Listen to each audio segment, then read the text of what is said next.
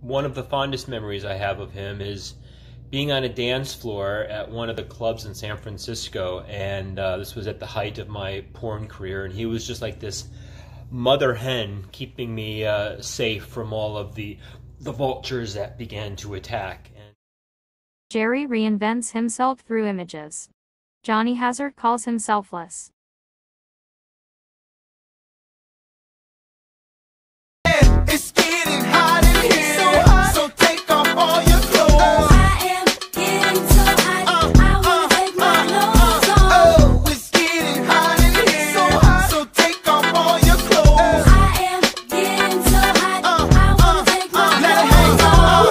Bar if you ain't popping the bottles? Come on. What good is all the fame if you ain't fucking the models? I see you driving sports cars. Ain't hitting a throttle. And I be damn, I do a hundred times. mostly playing pool at Moby's and just having like a grand old time and just watching him clear the board with all these people that were walking in thinking they were going to beat him. I wish he would have put some money on that table. I wish I would have put money on Jerry on that table.